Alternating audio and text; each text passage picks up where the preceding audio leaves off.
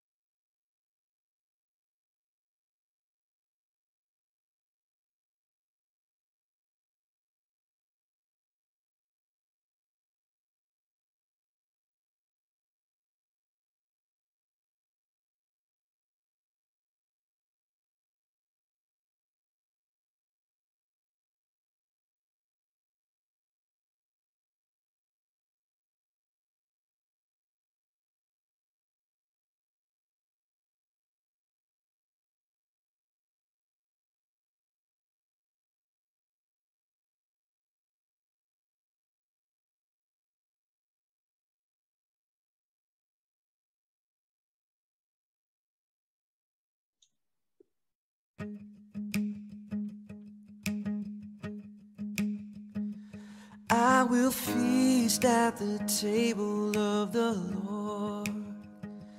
I will feast at the table of the Lord. I won't hunger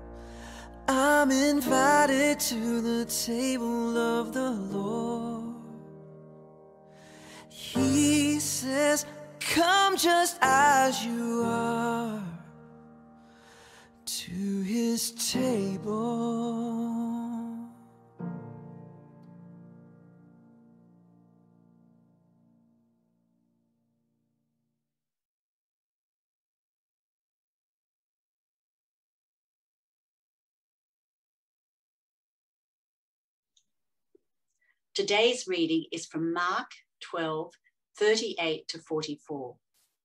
As he taught, Jesus said, Watch out for the teachers of the law. They like to walk around in flowing robes and be greeted with respect in the marketplaces, and have the most important seats in the synagogues and the places of honor at banquets. They devour widows' houses and for a show make lengthy prayers. These men will be punished most severely. Jesus sat down opposite the place where the offerings were put and watched the crowd putting their money into the temple treasury. Many rich people threw in large amounts. But a poor widow came and put in two very small copper coins, worth only a few cents. Calling his disciples to him, Jesus said, Truly I tell you, this poor widow has put more into the treasury than all the others. They all gave out of their wealth, but she, out of her poverty, put in everything, all she had to live on. In the words of Matt Redman, oh, how could it be that my God would welcome me into this mystery? This take this bread, take this wine. Now the simple made divine for any to receive. By your mercy we come to your table. By your grace you are making us faithful. Let us pray. O Lord, we thank you that in remembrance of this simple meal, something profound happens.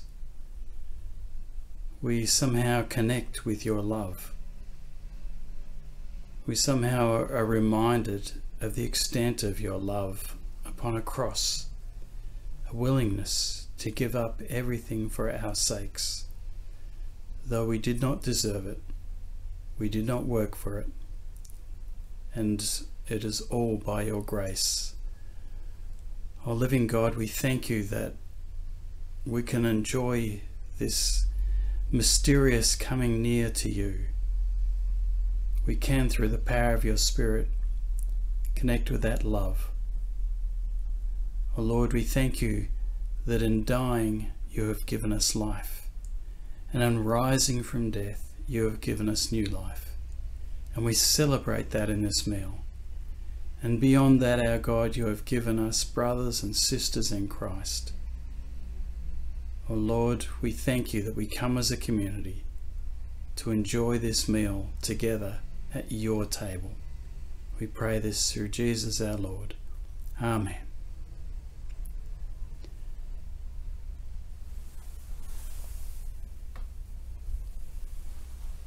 This bread that is broken is the gift of God for you. It is the body of Christ. This cup that remembers the blood of Christ shed for your sins and my sins and the whole world's sins. It is the gift of God for us. For as often as you eat this bread and drink this cup, you proclaim the Lord's death until he comes. Come, Lord Jesus, come to us again through bread and wine.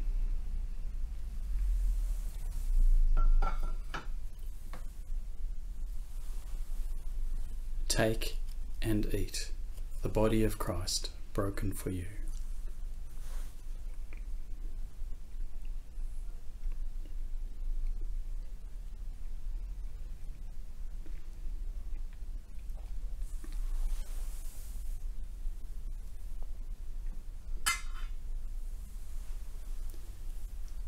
Let us drink together the cup of communion with our Lord.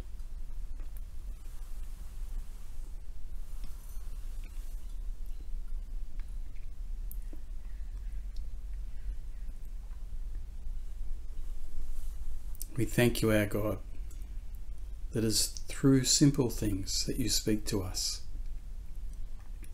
No complexity, no mind breaking puzzles for us just your gift of love through bread and wine. Thank you, thank you, thank you. We pray in the name of Jesus, our risen Saviour. Amen.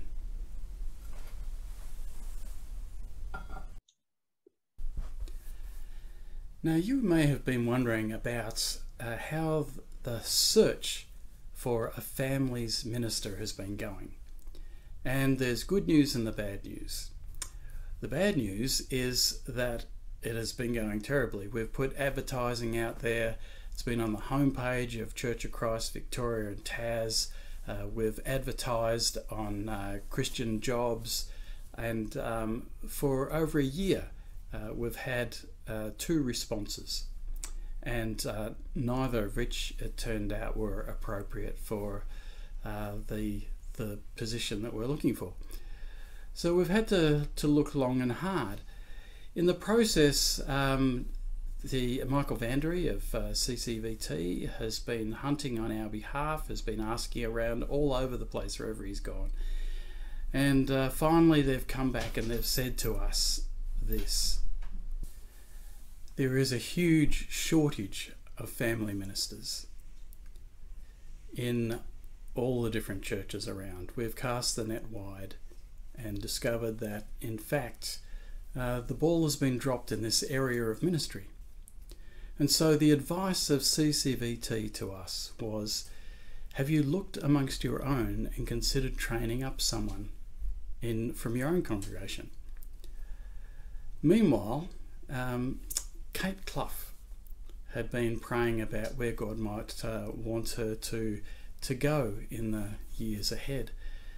And uh, so, in the previous few months, she had pondered about this position, knowing that uh, she was um, unqualified for the position, but sensing that God was, was having a calling somewhere in there as she worked through it over a couple of months and asked for job descriptions and worked through it and uh, you know saw what was required and what sort of training would need to happen uh, if she would be able to fulfill that position.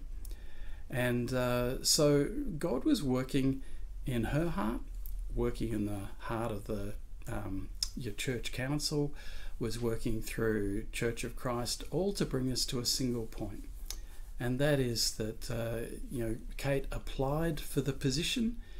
We rethought how this might work uh, as somebody who would need to be trained on the job and uh, we came to the wonderful conclusion um, that she was indeed the one God was calling us uh, to this position. So uh, we've arranged for a one year contract, and uh, during that time, Kate is going to undergo training, explore the position, and uh, seek, I guess, the, the affirmation of all those she's working with over this uh, 12 month period and to put in that work into the family's ministry of this church. So uh, the church council is very excited to uh, announce we believe that, that God has worked in this and uh, God has brought us uh, to this position. And so um, uh, Kate has accepted um, the offer that has been made. She went through the application process and now we return have uh, offered her that 12 month contract. So uh, exciting news, um, and in the in the process, we're going to um, have an induction shortly. But some of you may have been wondering, uh, shouldn't this come back to a congregational meeting?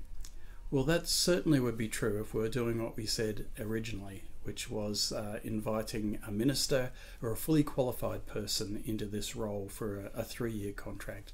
Uh, but that's not what we're doing. So we're doing something new, uh, and uh, so the church council on your behalf has um, undertaken to uh, explore this one year option with Kate. And at the end, uh, if we're going to go on further, we'll come back to the congregation and we'll seek for uh, something uh, longer. And also, Kate will have attained some qualifications by then. so, uh, in the meantime, uh, we're going to do our best to support Kate, and she's got to do her best to support us. So, um, will you join me in prayer? Uh, God, we thank you that you provide who is needed and what is needed when we need it. And Lord, how we have needed someone in this, this area of the church's life. Uh, thank you for raising up uh, Kate to meet this need at this time. We pray that you'll provide every grace uh, and every gift of the Spirit needed. But we pray also, our Lord, uh, that this ministry is a ministry of the whole church, not just of one person. So we pray for our families, uh, we pray for the children, we pray for our youth. We pray, our God, that we may all follow you, appropriate to our age, in the way of the cross and the way of discipleship. And we pray all of this in Jesus' precious name. Amen. Jesus told many stories about what a joy it is to give. Many people didn't understand. Here is a story that's like one of the stories Jesus told. Once there was a kingdom called Glasgow. It was a lush kingdom. And in this kingdom, there was a castle and many people who enjoyed farming. And they would farm, and every year would yield a great produce of vegetables and fruits. The farmers would go out and pick. But once every 10 years, there would be a terrible drought. The rains would not come, and the crops would not grow, and the farmers would throw up their hands in horror but because it was only once every 10 years, they could save up enough food to survive. But now a terrible thing had happened. The climate had changed, and now the drought came once every three years, and people were starving and in great distress, and the hospitals were full. Whatever were they to do? So they turned to the king and queen. The king had a great idea. I think we need to build a dam so that we can save up the water from the good years and use it during the drought years. It was a great idea, but it was very expensive, and so the king decided to start a fundraiser. And to begin with, he took some of his own jewels and contributed them to the donation.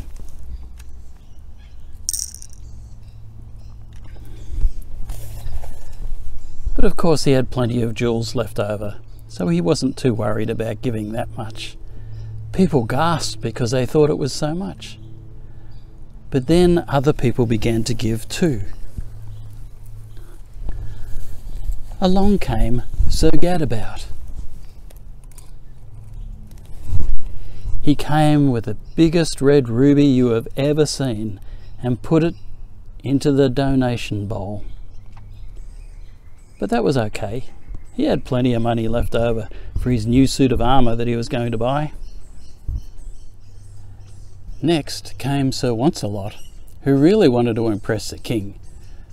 He didn't care much about the dam at all, so he brought along his biggest emerald and put it in the donation bowl. But that was okay. He had stacks of money and was getting ready for his holiday to France.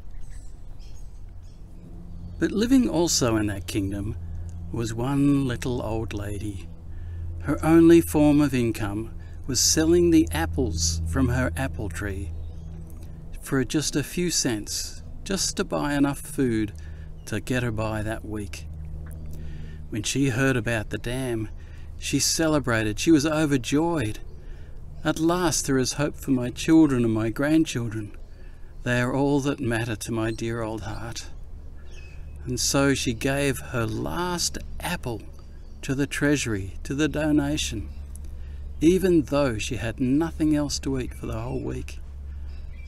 But she did so with a smile and a giggle. At last, the money was collected and the dam was built, and then the rain came down. And filled the dam and everyone in the kingdom, especially the poorest of the poor, knew that they were saved. At last, their future was assured. But then, our story is not really about the dam, it's about giving. So, which of these knew the joy of giving? Was it the king who had piles of jewels left over? Was it Sir Gadabout or Sir Launcelot, who had heaps left over for themselves? Or was it the widow, who gave everything she had so that others might live? Afterwards, the widow went out on a boat on the lake and sang praises to God all the day long. Do you know the joy of giving? Good morning, everyone. We come now to our prayers for God's mission and for our offering. This is a responsive prayer, and your responses will be on the screen in white text. Let us pray. God of unbounded generosity, with confidence and faith, we bring to you our prayers for God's mission, for the world and for the church. Bountiful God, we pray for the peace and prosperity of the world, for your people in places torn by conflict and war, for your people who live with poverty, danger and disease. In particular, we pray for those who have been affected by the coronavirus, for those working on the front line, and that vaccines and oxygen supplies will be available to those countries with the greatest need. We pray for protection of our environment and for those working to reduce the effects of climate change. We pray for the world leaders currently attending the Glasgow Climate Change Conference that positive workable outcomes will be achieved. We give thanks for all who work in the pursuit of justice and peace so that others may enjoy dignity, freedom, education and medical care. May we also give our time, our talents and all that we have in your service. Giver of life, for all your good gifts to us, we give you thanks and praise. Bountiful God, we pray for the ministry and mission of the church, for all who are pastors and teachers to your people, for guidance and wisdom for Graham and Vic, and all who minister in this place in your name. We give thanks for all who work to spread your gospel of salvation, all whose acts of faith and love draw others closer to God. May we also give our time, our talents, and all that we have in your service. Giver of redemption, for all your good gifts to us, we give you thanks and praise. Bountiful God, we pray for the welfare of the communities in which we live, for the hungry, the homeless, the unemployed, and the excluded, for our families, our friends, and our neighbours. We give thanks for all who work to bring understanding, care, and encouragement to others, and for all whose contributions to society are not valued.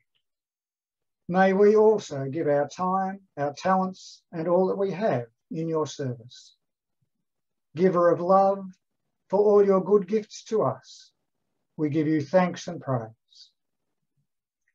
Bountiful God, we pray for the relief of those who are in need or in distress, for the lonely and those who grieve the loss of loved ones, for those who are anxious or despairing, for all who are sick or who are undergoing or recovering from procedures.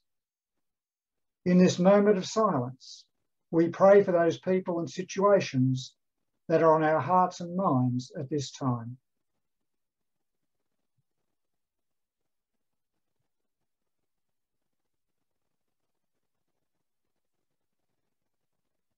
We give thanks for all who work to bring healing to the sick and who give comfort to others, all who give friendship, consolation, and hope to your people. May we also give our time, our talents, and all that we have in your service. Giver of wholeness, for all your good gifts to us, we give you thanks and praise.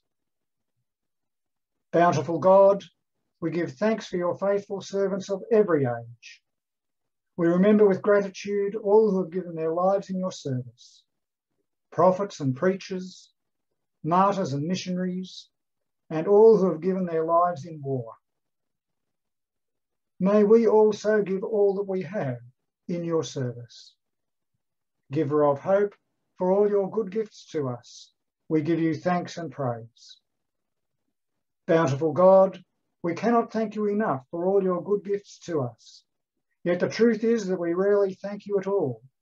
Your gifts taken for granted, your blessings scarcely even noted. We thank you for this opportunity to put that right, this chance to show our gratitude in action through the offering of our money and of ourselves. You have provided for us so richly. Bountiful God, for all your good gifts to us, we give you thanks and praise. Accept our offerings and use them for your service. In the name of Christ. Amen.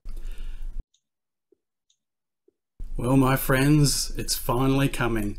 We're going back to live worship on the 14th of November. But I'm going to ask you to come at 9:30. The service starts at 10 o'clock, and here's the reason why. You'll have to do something extra when you arrive, and uh, the first time is going to be the hardest. After that, it'll be easy. You'll be in the in the swing of things. But the first time, you come along and you uh, open your Service Victoria app, you scan in, and yep, there we go. You press check in, and then you show your valid certificate to the person at the door. Because the government has said that only double vaccinated people can come along to worship, at least initially. So uh, we want you to be able to prove that you're vaccinated when you arrive. Uh, it's important that you do this. Uh, we can only receive vaccinated people, otherwise we can only have 20 people at worship. So um, please bring along your proof. Now, if you're like uh, us the other day, trying to um, connect our Services Victoria app to MyGov app, and then discovered that MyGov app wasn't connected to Medicare, uh, which is another link you've got to make because we couldn't remember the certain password that uh, went along with the security question. And uh. so, how about here's the alternative: just bring along your certificate. That's all you have to do. Show that at the door. Someone else will scan you in on their smartphone if uh, if uh, you don't have a smartphone able to do that. So either use your smartphone with the proof in, in it. If you haven't got that link in it already, then bring along your certificate and show that at the door, and you're in. And we worship together again, masked of course, but uh, things are, are going to get better. So we'll look forward to that, one step at a time. But you might say, I'm not vaccinated because I have a medical exemption. Can I come to worship too? And yes, you can, but you'll need to show that medical exemption uh, at the in the foyer as you arrive, uh, just like everyone else is showing their uh, vaccination certificate. Now, I want to talk to you about a second requirement that the government has made, and that's for all workers, and that includes volunteers. So if you if you volunteer to do anything at church, doesn't matter if it's uh, the offering or playing music or serving cups of tea, uh, all volunteers, uh, according to the government regulation, must register their, their vaccination status with um, Bruce. So um, our um, Bruce and Carolyn are collecting a, a private um, list of people who have their double vaccination status um, and uh, that will um, be the requirements. So um, to make sure everybody is safe at church and all those who have uh, volunteer positions, um, please register now as soon as possible. So the other one was when we arrive at church, you show your, your vaccination status, but this one is right now. Right now, get that uh, information to Bruce through the admin at LFC email. And uh, then we are looking forward to Safe Church, whether it's worship on Sunday or any of the other activities that we do during the week, uh, even off-site, um, all volunteers. So I am looking forward to uh, how things are going to unfold in the months ahead. And uh, I just pray for you all um, safety, safety first, and safety for one another. May that be your gift to each other. Thank you. Good morning, LFC, and welcome to our second last week of pre-recorded services. So we're we're at the pointy end. We've finally got light at the end of the tunnel. It won't be long before we're meeting together at the chapel in Greensborough, and that is a great thing. And I'm sure Graham's already spoken to this very clearly as he did last week. I hope you're getting your head around the whole having an app on your phone with the VicGov um, uh, application so you can get your certificate of vaccination. Interestingly, I've got the app on my phone, I've got the certificate, but I still can't access it through my app. So if you're having a bit of trouble with it, you're not alone. I'm having the same problem. But the good thing is, is once you've got a handle on it, once you've got it active, it gives a bit of rhythm and freedom to life as you move because you'll be required to flash that around. And you're probably, many of you already are using it. Moving on. So today I thought we'd come to a different part of the house um, with the pre-recorded service rather than being in this shed. And I thought, oh, I'll come out to the kitchen dining area. And what do I find on the table? My son's boots. And what has he got in the boots? A couple of black currant plants. So obviously, it looks like the plants were falling over out on the veranda. So he's put them in the boots so they stay upright. But at the moment, he's got them on the kitchen table. So I'm sure when mum gets home from work, she's going to look and roll her eyes. Not an ideal ornament with a pair of old boots on the kitchen table. So there you go. That's what I found. Let's have a look at our text, shall we? It's a great text. And there's something I want to note right at the beginning as we read our text today. If you go back one verse, so if you're sitting at home and you've got the Bibles in front of you, have a look at verse 37. Now, verse 37 belongs to half a dozen verses about another topic. But the second part of verse 37 uh, feels like, and some writers say this too, and I embrace the idea, belongs to 38 onwards. Because it says this in the NIV the large crowd listened to him with delight. The large crowd listened to him with delight. And it feels like it belongs to verse 38 on when Jesus makes this statement Watch out for the teachers of the law and then he goes on to have a fair crack at the Pharisees and the rabbis. And I would imagine if I was an average punter carving out an existence in Jerusalem, in Israel at the time, under the Roman heel, and I'm trying to survive and I'm trying to dance with the tunes of the uh, teachers of the law about the do's and don'ts, I would too would have listened with delight when Jesus said, Watch out for these guys because they can be shonky. And then we have this passage where Jesus uh, makes a series of charges against the scribes. And the image is really clear. You know, what, what did we hear this morning? The flowing robes which swept along the ground as they walked. A sign of notoriety and self importance. A sign of a leisured man who didn't have to work. People worked for them instead of the other way around a man of honour. And more than likely, the traditional Jewish tassels were on the edge of their robes, which served as a reminder to all others that they were people of God. Then we have this mention of the greetings in the marketplace. It's all about honour and respect. But in the end, so much of this behaviour just seems a little bit vain, doesn't it?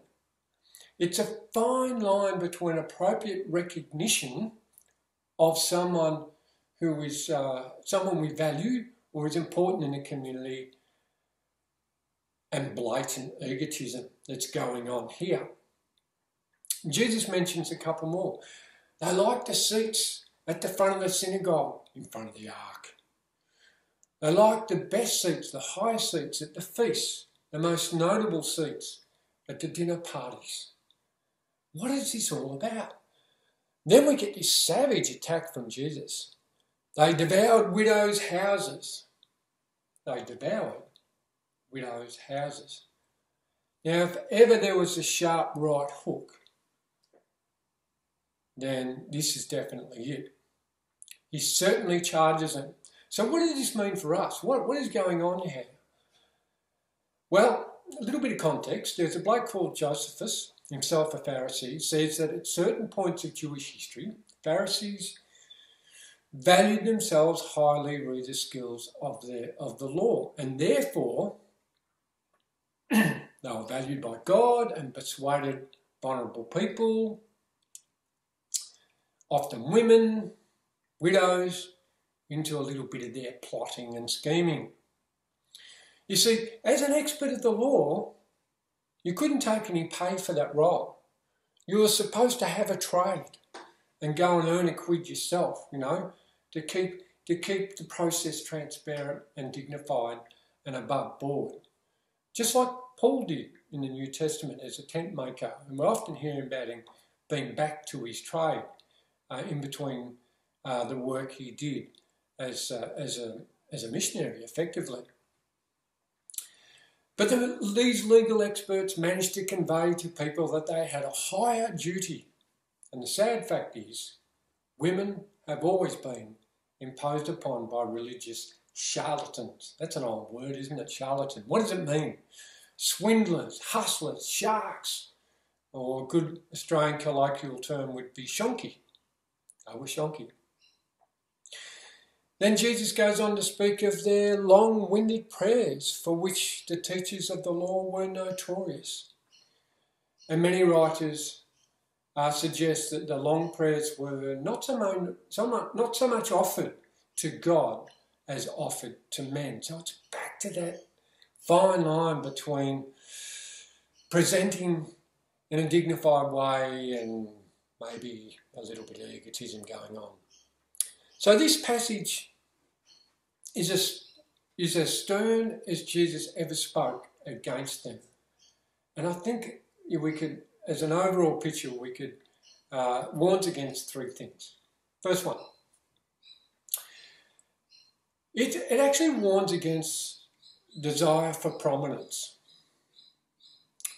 We can so easily see ourselves as earning the right of a position and therefore the importance that goes with it, rather than seeing it as an opportunity to serve. The beautiful thing about Jesus that he passed on to his disciples it's about servant leadership. Again and again, that was a formational part of their learning for the disciples, servant leadership. That's the first one. The second one, it warns against a desire for uh, deference, is the word I think, this seeking esteem, seeking attention. The well known, like William Barclay tells a story of a monk, a very humble man, uh, very gentle nature and posture. Um, his monk robe, he, always looked worn out or something. And he was appointed as, to an office in a monastery, new appointment. And so he turned up at this monastery, and because he was that, wasn't an imposing figure at all as a monk, uh, when they opened the doors to him, they just thought he was a monk that had come to be a part of the of uh, the, the crew, whatever they call them. And immediately he was given menial tasks within the monastery. So he just went about serving in these menial tasks. And then eventually, it may have been a matter of days, a more senior, uh, prominent monk came along to see how he was travelling, only to find him serving in a kitchen. And of course, well, hell broke loose when they found out that the guy who come to run the place had been serving in the kitchen for the last week. Now, I don't know if it's an urban myth, but it's a great story. And what I really love about it was that he knew what he was there for, and maybe he used it as an opportunity to get a read what was going on in the place. But he was so at, at ease with himself that he could move in and do the serving of others in the menial tasks and honour God that way, even though his appointment was to a greater job at hand. Third one, it also warns against making traffic of religion. You know, we have a go at our politicians for this, but it's alive and well through local community situation as well. Sporting groups, social groups, and it happens in the church too. And it's okay to use a network but when religious connections are used for self gain, that's very questionable. So, folks, what do we take away from this short, sharp, right jab from Jesus to these esteemed men? I think it serves as a reminder of what is clearly a biblical principle of servant leadership. And of whatever sense God is calling us to, calling you to, we are reminded that service is always, always about what we put into the setting, not what we take out of it. When we put into a setting, this is the formational stuff of our lives. Whether it's a social or a sporting club, community organisation, church, parachurch, mission, whatever it is, it's what we put in, not what we take out, that matters. Now we come to the second part of our text this morning, which is a really important one as well, and a well known story of the widow's mite. I've got a little clip here that we're going to play. It's only short, and have a look at this uh, for a take or an interpretation on the widow's mite. And Bruce will put that up now for you.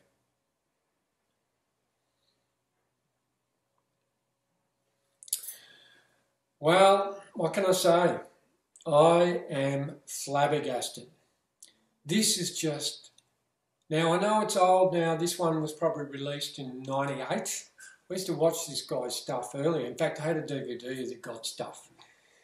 Blatant hypocrisy. It's deceitful a complete misunderstanding of the English word want, and really, it's an abuse of Scripture. Did you notice on the bottom of the screen the donations that were pouring through? When church culture and leadership is unaccountable and blatant manipulation takes place on false promises to the most vulnerable, whoa, someone has got a lot to be accountable for. You see, folks, this is exactly what Jesus came to challenge. So here we are with this incident in the temple, the widow mite, seemingly insignificant, but a huge sacrifice for someone who's struggling, as is the case with this humble lady. So, a few points. Jesus is not interested in what is given, but what is retained. And we find that Jesus says of her that she is highly commended. Oh, I'm, I'm paraphrasing there, but it's a beautiful image, isn't it? Second thing, he is interested more on our possessions or attachment thereof than income. We'll hear about this next week when Graham speaks to the rich young ruler. So we look forward to that. And number three, I reckon Jesus is having a go at a system that would demand such giving on those who can least afford it. And the last dot point for me on this one, number four. Isn't it a beautiful thing that the person in the New Testament that Jesus hands down through history as a pattern of generosity is a low in the pecking order, female, poor widow who serves an example to all of us 2,000 years later. I just think that is magnificent. I just think that is magnificent. Now, as I conclude, I often use the Irish Catholic online site called Sacred Space. Some of you might be familiar with it. And they often have repetitive reflections that come up that is just an introduction on. And, and this one I've always enjoyed. And it says, imagine yourself sitting with Jesus and having a chat. Yeah? When it comes to money, Jesus asks, So, what will you do with it? Will you use it for yourself? Oh, will you use it to help? Will you hold it close for comfort? Or will you share it? Folks, so many hard choices, so few easy answers. Heavenly Father, we thank you for the beautiful example of the widow's mite. A humble lady going about her business in the market, giving from what she has, making a sacrifice, honouring you relative to her context, who now serves as a reminder she has a legacy to the, the wider Christian world 2,000 years on of what it means to honour our God, to be transparent, to be true to your word, to be at peace with you. It's a beautiful image. And Lord, we're also reminded this morning from the rest of our reading just how important it is to be transparent, to be humble, to be selfless,